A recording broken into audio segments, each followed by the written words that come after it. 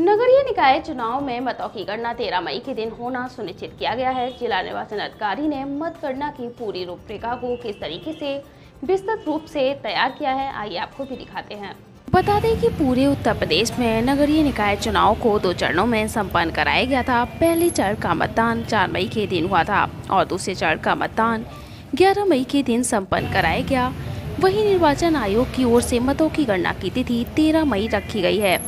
मतों की गणना के लिए प्रशासन की ओर से तैयारियाँ पूरी कर ली गई हैं। जनपद के जिला निर्वाचन अधिकारी अविनाश सिंह ने जानकारी देते हुए विस्तृत रूप से बताया है कि मतों की गणना के लिए प्रशासन की ओर से व्यवस्थाएँ चाक चौबंद कर दी गई हैं। रूपरेखा तैयार कर ली गई है।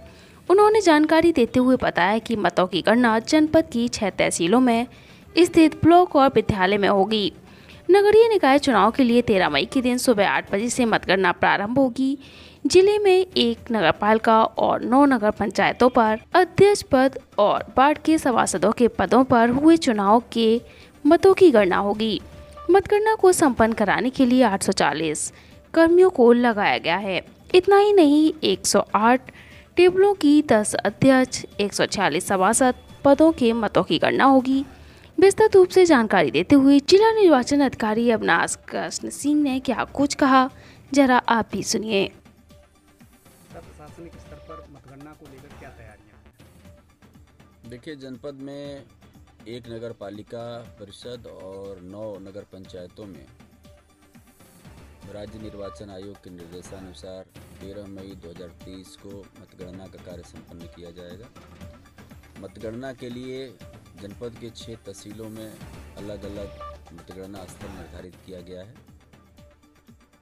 और वहाँ पर सारी तैयारियाँ जो है राज्य निर्वाचन आयोग के निर्देशानुसार पूर्ण की गई हैं। मतगणना स्थल पर पहले से ही स्ट्रांग रूम बनाया गया है जहाँ पर कि अ, मत पेटिकाएँ रखी हुई हैं निर्वाचन के बाद से और वहाँ सुरक्षा के पुख्ता इंतज़ाम किए गए हैं। मतगणना के लिए उन्हीं के जो निर्धारित हॉल है या बड़े कक्ष हैं वहाँ पर हम लोगों ने टेबल्स लगा करके बैरिकेटिंग किया है। बैरिकेटिंग इस हिसाब से किया है कि जो भी हमारे उम्मीदवार हैं, उनके उनके और उनके गणना अभिकर्ताओं के बैठने के लिए पर्याप्त स्थान हो। वहाँ पर हम लोग डबल में जोड़ करके काउंटिंग स्टाफ के लिए अरेंजमेंट्स कर रहे हैं। राज्य निर्वाचन आयोग के निर्देशानुसार हम लोगों ने सीसीटीवी कैमरा की व्यवस्था किया हुआ है और वीडियोग्राफी की व्यवस्था किया गया है। मतगणना कार्मिकों की तैनाती की जा चुकी है। तैनाती के उपरांत उनका प्रशिक्षण का कार्य पूर्ण कर लिया गया है। हर एक जगह पर हम लोगों ने सुरक्षा के लिए पुलिस के पुख्ता इंतज़ाम किए हैं। पुलिस अधिकारियों की ब्रीफिंग की गई है और प्रत्येक मतगणना स्तर के शांति सुरक्षा व्यवस्था के लिए अलग अलग हम अ, हमने अपने स्तर से भी जो है एक एक मजिस्ट्रेट की अलग से तैनाती की है जो वहाँ पर रह करके गणना कार्मिकों की आवाजाही जनपद में जो धारा 144 लगी है उसका अनुपालन और सुरक्षा तथा शांति व्यवस्था बनाए रखने का ज़िम्मेदारी निभाएँगे। मतगणना संबंधी जो समस्त तैयारियाँ हैं राज्य निर्वाचन आयोग के निर्देशानुसार हम लोगों ने पूरी की सर समाजवादियों का एक दल आपसे मिलने के लिए आया क्या उनकी मांग थी? किस तरीके से निष्पक्ष और मतगणना की बात कह रहे थे? उन लोगों का ज्ञापन आया है ज्ञापन उन लोगों ने दिया है।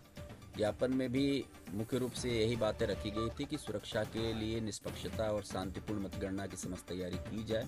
वो हम लोग राज्य निर्वाचन आयोग के निर्देशानुसार पहले से ही सारा इंतज़ाम कर रहे हैं। बाकी भी जो सुझाव है, जो राजनीतिक दलों के भी, उम्मीदवारों के भी, उसके अनुसार हम लोग जो राज्य निर्वाचन आयोग के निर्देश हैं, उसके अनुपालन करते हुए पूरी तैयारी और पूरा इंतज़ाम कर रहे हैं।